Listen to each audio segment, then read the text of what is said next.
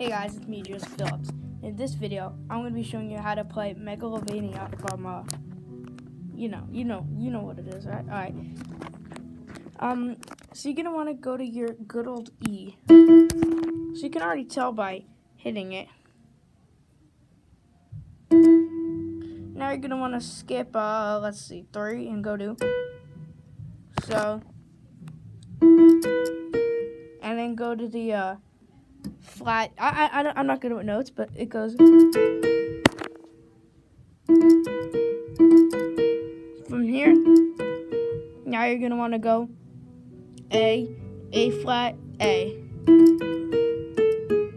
and now E G A.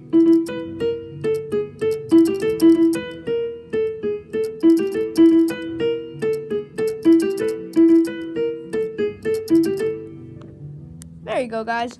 Uh, thanks for watching. Um, you know what? No, no, no, no.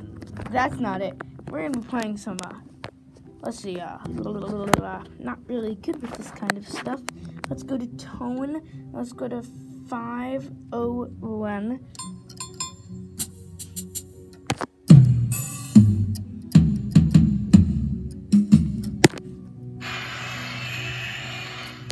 Yeah, I could play something.